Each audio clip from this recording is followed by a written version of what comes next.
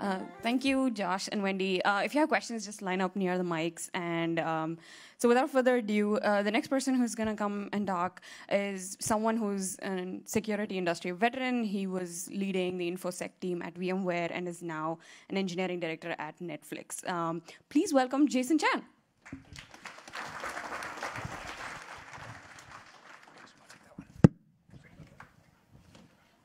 Hey, morning, everybody.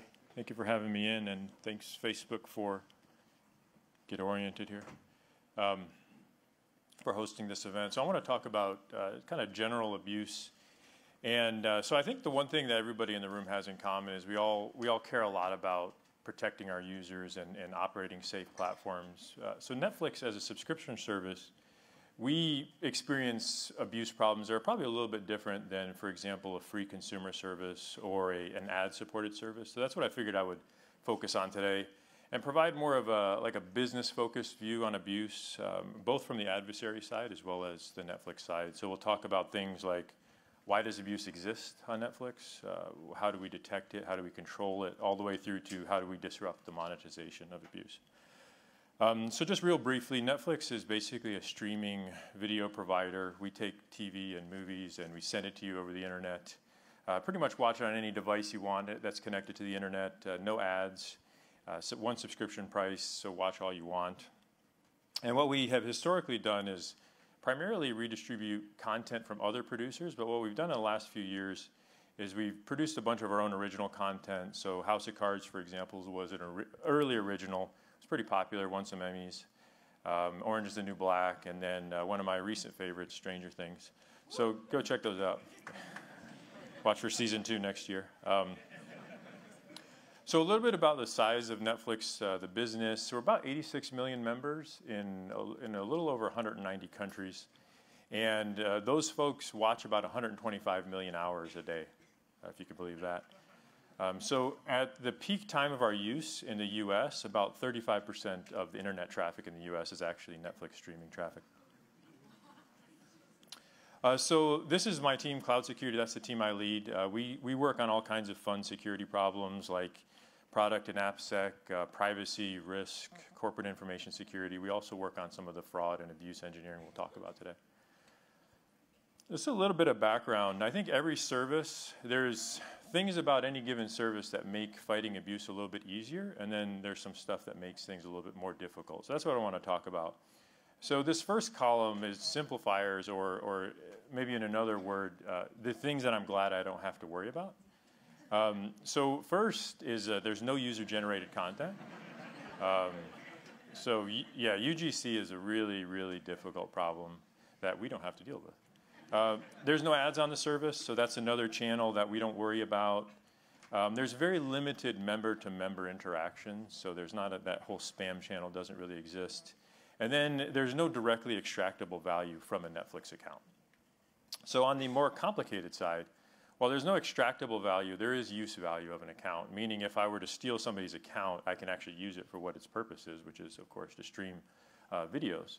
And that, that goes in well with the next item, which is fungibility of accounts. So any given Netflix account is kind of interchangeable for any other one. It's not like, for example, a bank account that has a million dollars in it versus one with zero dollars in it, or a different Facebook account. So that really drives a lot of abuse patterns that we see.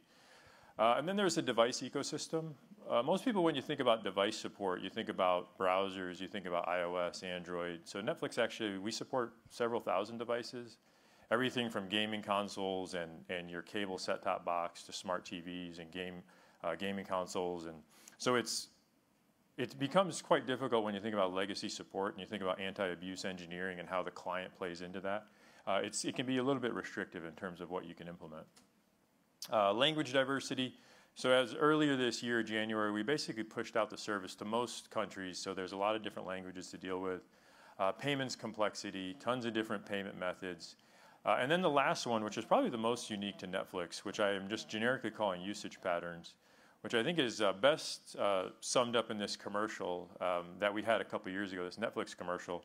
I don't know if you've seen this, but uh, basically it was a woman, she's kind of making her way through the airport. She's a little bit sad, a little bit down, and then this guy is chasing her down. He's, he's desperately trying to catch up with her. He finally does, and uh, you know her face kind of lights up when she sees him. And he says, "Hey, I need to ask you a question." And you know, you think there's going to be a big romantic event, and he's going to propose, but he says, "No, what's the Netflix password?" so um, this is this is one of the real big differentiators for our service. Is that when you think about how when you watch TV, a lot of times you do that with somebody else. Uh, it's, it's, it's just a differentiator. So, for example, if I'm going to look at my LinkedIn emails, I'm probably not going to invite friends over to do that. So it's more of a one-on-one scenario. So this, this definitely influences abuse and abuse detection, the idea of that multiple people using a single account. So the Netflix service, what we really try to do, uh, this is really part of the core value of the service, really what all of us as employees work on, is making it a very consumer-friendly service. And one important aspect of that is we have a 30-day free trial. So anybody can go in, if you haven't used it before, go in, kick the tires, install it on a device or two, watch some content, and hopefully you like it. And if you like it, then you'll convert to a paid member. If not, no big deal. Just go in and cancel. It's one button. You don't have to call customer support, nothing like that. Um, and as we know, folks who, who build consumer services, that when you, a lot of times when you're building a, a great consumer experience, there's some potential for abuse. And that's what we, that's what we think about. And at a business level, when we think about you know, beyond just protecting our members, why do we care about anti-abuse on the platform? There's, there's really two main questions. The first one is which customers or how many customers are going to convert from that free trial state to paid? Um, and we, you think about projecting your financial numbers and just your overall business. So if a segment of that free trial population are basically fraudulent accounts or fake accounts and are, have no intention of converting, that causes problems in terms of data. And then the next related question is we want to know, like many services, Netflix is heavily personalized. We care about how people use the service. It goes into how the UI works and what kind of content we end up buying. So we want to understand how members actually behave, not how people who are sort of exploiting various aspects behave. So we want to be able to clean up the data. In terms of how our adversaries work, it's actually pretty simple. Um, their, main, their goal is really quite very simple. It's to obtain Netflix accounts, but they want to do so without paying. And the reason why they want to do that is also equally simple. They want to monetize those accounts, and they want to do it primarily via resale, meaning they're going to find somebody who's willing to buy a, a stolen or fraudulently created account, or they'll secondarily use the idea of getting free Netflix as some kind of lure or bait for, for spam or spyware or malware or something like that. The methods of how they get these accounts, uh, two, two main ways. So one is fake account creation. What we call internally, we call that free trial fraud. That's just creating an account with no intent to actually convert to paying. Uh, you just want to exploit that free trial period. And then account takeover or, or ATO. So we'll talk about free trial fraud first. Uh, that's a lot of uh, alliteration there. Um, so for us, again, a difference, a difference between Netflix and many other consumer services, it's, it, is a pay, it is a paid service. So payments is really a big differentiator. Uh, it is required at sign up. So even if you're going to create a fake account, you still need to provide a credit card, a PayPal account, something like that.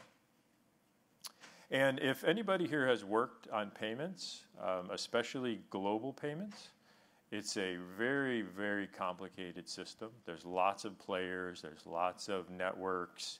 Um, and if there's one rule about complex systems, it's that there's always something going wrong. There's always a problem, uh, guaranteed. There's loopholes, there's weird processing things that are happening, all kinds of bizarre failure modes um, that are happening. And that's really what adversaries are looking for. So what that boils down to for us is that fake account management and controlling free trial fraud, it's really a payments fraud issue. So that's really how we think about it and how we work against it. So our, our general approach to controlling free trial fraud, I'm going to split up into three areas. You can think about, uh, you know, as somebody comes onto the site, they go through the sign up flow, and then they become a member and they start using it. So that first stage, we'll just call it initial assessment. We do things like uh, VPN analysis, proxy analysis. As you can imagine, signups coming from VPNs and proxies are you know, a little bit more at risk to being fraudulent. Uh, we do things like device fingerprinting. Uh, we, we also do data sharing with other global merchants to understand, hey, have these other merchants seen problems from these IP addresses from these devices? And then we also have our own internal threat intelligence about how things have behaved previously that will sort of bring to bear in that case. Uh, then you go from there, you're on the site, you're signing up, and now we want to validate the payment. So we do various method of payment checks. Uh, we have business rules that we look at to determine whether or not this particular device or this email address or this method of payment is actually eligible for a free trial. And then we do uh, risk-dependent auth. So you can kind of think about $0 auth versus non-$0 auth. If you're familiar with sort of credit card processing, we'll decide what to do there based on how risky we think a particular transaction, between a uh, particular sign-up is. So at that point, a, an account has been created if you've gotten through there. So obviously, we try to control as much as we can in those initial phases. But if things get through, as we know, fraud systems are not perfect. Uh, you get through, and then basically you have an account. And then what we rely on there is what we would call post sign up analysis. A few different things. Uh, one of the real key ones for us is BIN anomalies. Uh, so a BIN is a bank identification number. That's kind of the, the first few digits of your credit card number. And within that number is encoded a bunch of information about who the issuing bank is, what geography it is, what kind of product it is, like a, a prepaid card versus a, a, premium card. And when we talk about BIN anomalies, um, the nature of the, the ecosystem is that there's been a lot of acquisitions and mergers. A lot of these different products have different authorization schemes and authentication schemes. And these are where pro the problems happen. So if we were to look at a population of valid accounts, you would expect a reasonable distribution across various bins. When we see bin anomalies, meaning we see a particular bin spike up in terms of new signups, what that almost always means is that there's some kind of uh, payment validation problem happening with that particular bank. So we'll then use that to sort of dive in. Uh, there's also CS contacts or customer service contacts. So you can think about if somebody, if you had your credit card stolen and then somebody used that account to sign up for Netflix, you now have unauthorized charges. Um, and then account behavior. So uh, we look at how does a regular account behave versus how does an account that was created for free trial behave. And one of the real, I just put an example here, a real key indicator for us is uh, cross-border streaming. So for example, a, an account gets created in say Finland, and then when they start using the account, they actually start streaming in Canada. So not that that can't happen, but a lot of times what that means is that there's some kind of payment issue has been identified in Finland, and then they actually, so they create the account there and then resell it or reuse it uh, outside, of a, outside of that geography. Our objectives, pretty simple. We want to, within that first 30 days, we want to detect it and disable it. Um, so once you get past 30 days, then we're actually charging a card or charging some method of payment, a, payment, a PayPal account. And if we do that incorrectly, that leads to a, another series of problems for, for customers or potentially even people who aren't customers. Oops. And then what we want to do is just keep shrinking that window of the detect to disable for a couple of reasons. We have mentioned keeping the data clean, and then we also want to reduce the adversary's opportunity to actually make money off of that. So that's our general approach to free, free trial fraud. That's the first kind of bucket of, uh, of abuse. The second one is account takeover. So I'm sure many folks deal with account takeover. It's a pretty common problem. I won't um, be too specific with definitions here, but what when we say account takeover, we just mean somebody who is not you has access to your account, typically has access to your username and password. The causes for account takeover are, are fairly common. Uh, so third-party data breaches, uh, you can imagine if there's a bunch of usernames and passwords out there, we know that people a lot of times will reuse their password. So if your password was compromised somewhere else and published, you know, if you use that on Netflix, then your Netflix account could also have problems. Uh, of course, people get phished, uh, people get malware. Uh, what we call friendly compromise is, uh, I mentioned account sharing. So you could you could think about if you had a roommate, you had an ex-boyfriend, ex-girlfriend that you shared your Netflix account with, and then, you know, for whatever reason that relationship ends, they still have access to your Netflix account. um, so the life cycle for account takeover, we look at this, we'll split it up into three different areas. The first one is, is compromise, the first kind of phase. Uh, regardless of how it happened, what, what ends up, what, what the result is, is that an adversary, a bad guy, has your credentials. What they typically do is one of a few different things. They'll use the credentials, meaning they'll just watch Netflix. Uh, they may publish those credentials on something like Pastebin or some other site like that. They may try to sell them, and we're going to talk about the monetization piece a little bit later. Or they may actually change your password, which could potentially lock you out. From there, we, we think about what is the member impact. So members, they may be unable to access their account because you know, they've been logged out, the email has been changed, the password's been changed. They may notice unusual activity. This is one we see a lot. They're like, hey, I don't remember watching that movie, but all of a sudden it showed up in my viewing history. Um, and then they may actually get a password reset. So if we have detected the account's been compromised, we may send that account through our reset flow, and then they'll get a reset um, so that they can reestablish control. And that leads to the final step of account takeover, and that's the resolution. So ideally, customers will be able to resolve themselves. We'll provide them the tools to do it. Uh, they may contact customer support for assistance. Uh, and then hopefully what, the, what doesn't happen, if they feel the experience is bad enough or they become frustrated, they may actually cancel the account. And what we seek to do is really across all those different phases, detect what's happening, take action where we can, and then measure the overall problem. I'll talk a little bit about account takeover. There's a variety of ways that you can detect if an account's been taken over or, or what's happening. Uh, one of the key things that we do is uh, we call it traffic analysis uh, for account validators. Uh, so OWASP has this generic term that they call credential stuffing. So this is not brute forcing of accounts. It's when you have a long list of credentials, of usernames and passwords, and you're going to test those against a service to see if they actually work. So we have a number of mechanisms where we can detect this kind of traffic coming in. We do a lot of uh, discovery ourselves for, for credential dumps, things on Pastebin, all kinds of. There's all, all, any number of sites out there that, that are listing people's email addresses and passwords. We also work with uh, third-party partners to help us with that as well. Um, customer service contacts, so when somebody calls in customer service and tells us their, their account's been compromised. And then also predictive models. As you would expect, uh, none of these are perfect. Uh, adversary doesn't actually let you know that they've taken over your account, so we need to figure out other ways to estimate that problem. Uh, and that's where we get into uh, modeling account takeover, and certainly this is it can be its own kind of real deep dive. So I'm just going to cover this at a high level. Um, what we wanted to do to better identify what is the overall population that is actually impacted by account takeover. What we did was we started with credential dumps, and just uh, just a little bit of definition of credential dumps. I think I skipped over that. So there's various sites like Pastebin where people will just post email addresses and passwords out there. We call that a credential dump, um, and they may be sourced from a bunch of different ways, but the end of the day, your username and password is somewhere on the internet. So our hypothesis was that if you were in this credential dump and you contacted customer service to, to have uh, to basically help manage your account, then it's highly likely that your account uh, exhibited pretty acute signs of compromise or takeover. So that was a kind of starting point.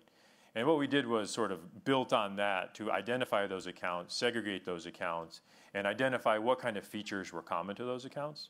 So I think we ended up with a, a pretty long list of features, like 50 or so, that were um, reasonably um, accurate in terms of identifying these accounts. So uh, one example is uh, for folks, people with Netflix accounts, one, one behavior that you almost never do with a Netflix account is log out of your Netflix account, which is a good thing for us. Um, but what we notice is with account takeover, those accounts actually exhibit quite high logout behavior. So we went from there, we applied it to the broader uh, population, and then have kind of iterated on that with other revisions and models. Uh, so that's so there's free trial fraud. There's account takeover. Now you have a pool of Netflix accounts, and now you're you're the adversary. You want to make money off of that. How are you going to do that? Um, so I'm going to split this into two main areas. One I'm just going to call the general internet, and then we'll talk about the dark web. So everybody knows the uh, the key to sales, right? The, the, key to sales, you have to have marketing, right? So if I have Netflix accounts to sell, sell, I need to let people know about them. So that's one of the things that we deal with a lot. Uh, there's all kinds of video channels. So this is a YouTube video, how to get a free premium Netflix account. Uh, Vimeo doesn't want to be left out. That's also used as a platform for this kind of uh, marketing. Social networking is a really popular one. Uh, Twitter user here selling not only premium Netflix accounts, but also they have a lifetime warranty. Um, uh, Instagram, uh, Facebook, uh, then you can actually just go right to an auction or forum itself and sell. Of course, eBay is quite popular. There's also regional uh, marketplaces like uh, Mercado Libre in, in uh, Latin America and South America. then there's also just general forums. Here's another nice merchant here who's also offering a warranty. Um, so the outcomes for these customers, um, there's typically two things that happen to people who sort of follow this and actually get an account this way. Uh, the first one you might have you might have seen this from one of the earlier screenshots. Uh, a lot of times, these merchants who are reselling, they tell the people, don't change the password for the warranty. And basically, what's going on is they're trying to sell a, a, a single compromised account to multiple people. And basically, what happens, the warranty kicks in is if something happens and that user regains control or that free trial runs out, they'll just send you a new username and password. So that's how the warranty works. So that's kind of, if you, I guess, if you're uh, okay with that uh, service model, then this uh, may be a reasonable way to save a few dollars a month. Um, uh, the, the other primary outcome for people who do this, does this look like legitimate software there? Um, we, we deal with this a lot. This is a Netflix account generator. Um, so this is some software that you're going to need to install to get a Netflix account. I mean, it's not the Netflix application. Um, so there may or may not actually be accounts associated with this, but the, the next step, if you're going to click generate here, is you're going to get malware or spyware, adware. You're going to click through some, some scam or spam that you're going to have to deal with, and it's probably not going to be a great uh, outcome. So that's the problem. That's kind of the, what we deal with in terms of disrupting the monetization. So there's a bunch of stuff we do earlier on to try to prevent all that. We talked about the free trial fraud and detecting account takeover. So once those accounts are out there in the wild, they're being monetized. What we also try to do is disrupt what's going on there. Uh, the monetization controls, uh, we do a lot of discovery and takedown. So we actually open sourced the system a couple years ago called Scumblr. And what Scumblr does is go out and try to find these kinds of things for us. We also use uh, uh, vendors to help us with the, actually going out and finding these things and taking them down. Complicated by language, just if you can think about, I now need to search for free Netflix accounts in you know 50 different languages versus just English. Um, and then collaboration, more and more what we're trying to do. Uh, so eBay, for example, has a couple of programs that we participate in. So instead of finding the auction and taking it down, they'll just prevent it from getting there in the first place. And then increasing what we're doing. So we're a pretty big user of Threat Exchange, and what we're increasingly trying to do is use Threat Exchange. It's kind of work in progress, but as a mechanism for exchanging information around account takeover. Um, so then the last thing I wanted to cover was just the dark web. Uh, so if you're not, if you're familiar with the dark web, this is the kind of um, stuff where a lot of the uh, really bad bad things happen. Uh, kind of things get resold. Uh, you can also get Netflix accounts there. Uh, here's one here. There's a bunch of different markets on on the dark web, and on the dark web, like you can't really do takedowns. That's not not really how it works. Uh, people are not going to respond to your requests for removing entries. So what we do instead is we, we try to monitor what's going on. We try to understand what's going on. So what, how much are accounts selling for? Who are the resellers? What are the marketplaces? What's the overall supply? And then we occasionally will do controlled purchases of some of those accounts so we can understand what are the origins, how did they actually get compromised, and then take any intelligence we can get from there and sort of upstream that earlier in the process to other controls. Uh, so I think we have a few minutes. If anybody has questions, happy to. Yes. Uh, it's a nice talk. Uh, thank you. So uh, my question is about this, um, um, like um, credential stuffing. So uh, you mentioned you also look into the dark webs, and so my, my question is, do you um, like what's your practice, best practice to avoid any legal consequences um, because you buy or you download stuff, then the bit is on your hardware and is uh, kind of tricky. You have to also maybe deal with is that you who hacked actually somebody? Uh, so, like, what's your best practice and recommendation for that? Thank oh, you. sure. Yeah, no, that's a good question. So, specifically on the dark web, in terms of operating there, uh, a general best practice, um, you, you want to be pretty careful. I, I, wouldn't recommend folks kind of go out and just pursue that. Uh, there are a number of different firms that can assist you they will help with doing things like developing personas that can operate in those forums. So just to be clear, we don't actually go onto the dark web and sort of try to hack anybody. It's really more of like observation and understanding what's happening. So a controlled purchase is when we would engage with a vendor to actually procure some of those, and we'll generally do that through a third party uh, because there, there's a fair amount of work to be done to sort of make sure that uh, you're not exposed. So. Oh yes. Um, so if you detect a, a, compromised account, you can send a, a member the pa reset password. Um, they can get they can regain control. What do you do if it's the email account that was compromised, and if you send a reset password, the attacker gets that? Uh, so, so you're saying a member, a user has had their, their like their their email account has been compromised, and then from there they compromise. Yeah. Their, yeah, that's that's a, a problem that's relatively difficult to, for us to deal with, if because we're really using uh, the email address as kind of the basis for identity. Sometimes we also accept, like for example, a mobile phone number. Mm-hmm. So in those cases, uh, sometimes how those will result in is, is a customer is going to need to call in directly and get more manual support. Okay, thanks.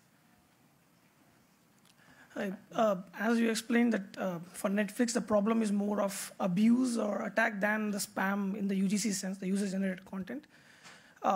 What is uh, what happens if the content for very very content that people come to Netflix for, the movies and the they get uploaded to some sites like YouTube or something? I mean, this is from the infrastructure side of things that you're fighting. Yeah. What, what from the content, which is the real core business? Sure. Yeah, so that's that's um, not uncommon either. And the, the problem there is uh, if somebody were to take content from the service and then you know upload it to like a pirate site or something like that. So yeah, that's the way that that's handled is a little bit different. It kind of depends on who holds the copyright for that. So some of the stuff we own. Uh, some of the the responsibility is really on the content owner. So we do we do process a fair amount of kind of takedowns because of uh, content violations.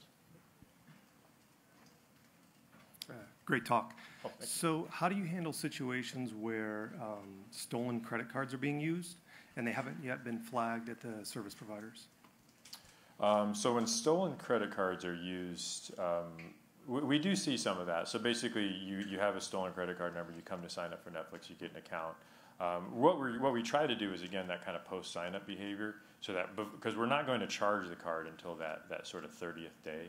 So we do all we can to make sure that we can catch it by then before it gets before it actually we actually make that charge. And so the same kind of things in terms of uh, post sign up analysis. I think it's um, you know there are problems around, for example, card running where people have a, a batch of stolen cards mm-hmm. and they'll test the service. So we have a number of different controls around things like rate limiting and other kind of business rules to prevent that kind of mass um, testing of credit cards. Okay, thanks. Hey, so my, so my question is kind of orthogonal to what you uh, discussed.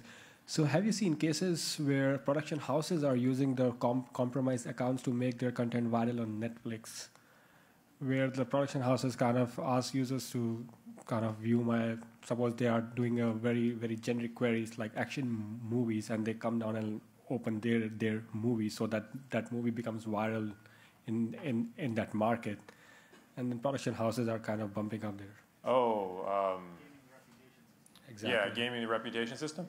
Um, that's um, yeah, no, that's an interesting. Uh, I, I, don't know that we see a ton of that. We actually uh, don't make public the uh, viewing hours, for example, of, of a particular title. So it would be. Uh, it would, it would require a fair amount of internal knowledge about how we measure viewership. Uh, we have a reasonably sophisticated model about how we detect you know, if someone's actually viewing content and then how that goes into various sort of efficiency models. So yeah, I don't know that there's a direct um, mechanism that somebody would exploit. I mean, they could potentially internally throw things off, but it would be difficult to sort of externally influence. Uh, yeah, so it seems like a lot of these um, cases that you went through uh, could be diminished by having something like two-factor authentication. Uh, does Netflix employ anything like that? And um, if if you guys don't, like, what's the reason behind it?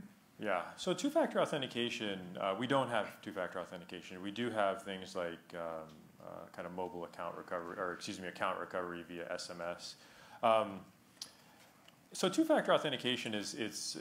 I mean, I think we would all agree it's a good control. Um, at, you know, ultimately, on many consumer services, people are not really willing to sort of do that. So I would say long term, it could be something that we would look into. Um, from what I've heard, kind of um, anecdotally on other large consumer services, the uptake is relatively low. Um, I think even on, on uh, you know like email providers, it's not not as high as we would like it. But I think I think over time, I, as as more and more of the general public become comfortable with it, I would imagine it's going to become more popular. Um, thanks for sharing uh, the insights about account takeover sure. and uh, you know the impact to the business. I was just curious: is that a problem of a you know 0.001 percent scale in terms of accounts, or you know one percent or more kind of a scale? Uh, that's probably wouldn't wouldn't get into specifics, but Okay. it's uh, you know it's it's definitely a concern that we that we keep an eye on. I would say at this point we feel like we have it um, we have a reasonable sense of the problem and, and, and sort of where it fits into the overall business. All right, thanks. Hi. Uh, what you mentioned is more of proactive ways of fighting spam. Are there any reactive ways that you actively look forward or like, as you said, logout is a very clear signal. Uh, I assume uh, changing credentials like emails, phone numbers is also a very clear signal. So, so the question is if two friends are sharing an account, that probably is legitimate. But if a hacker is logging silently and trying to stream some content off, that is bad. How do you distinguish between these things? Yeah, that's where I was kind of getting into. So the, the, the I think our initial set, I think we had about 49 or 50 different kind of signals that were, you know, you can never be completely sure, uh, but we had a reasonable model that includes things, for example, changing email. Like people very infrequently change their email on their Netflix account. So when we see that, that oftentimes signals some kind of problem.